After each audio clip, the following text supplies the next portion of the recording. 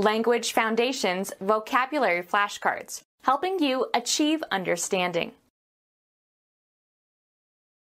Several beads threaded together on a string. Several beads threaded together on a string. Thread on or as if on a string. String pearls on a string. Add as if on a string. String these ideas together.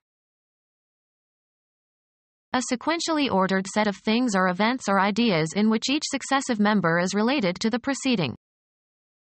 A string of islands. A tie consisting of a cord that goes through a seam around an opening. He pulled the drawstring and closed the bag. Move or come along. A necklace made by stringing objects together. A string of beads. A lightweight cord. Cosmology. A hypothetical one-dimensional subatomic particle having a concentration of energy and the dynamic properties of a flexible loop. Stringed instruments that are played with a bow. The strings played superlatively well. A collection of objects threaded on a single strand. A linear sequence, as of characters, words, proteins, etc.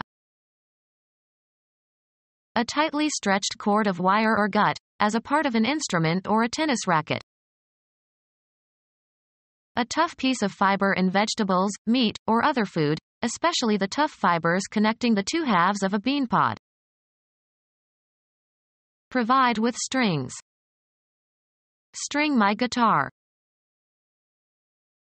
Remove the stringy parts of string beans. Stretch out or arrange like a string. String together. Tie or fasten with a string. String the package.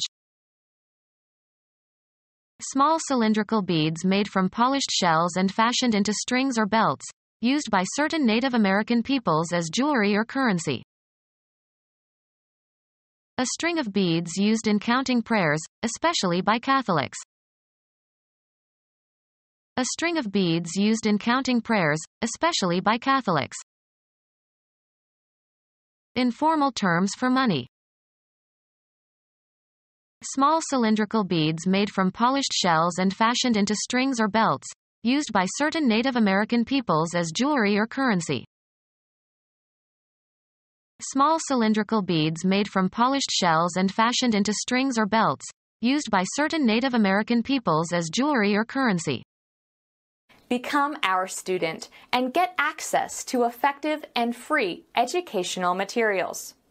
Subscribe to our YouTube channel to become a part of our growing YouTube community and to learn English effectively.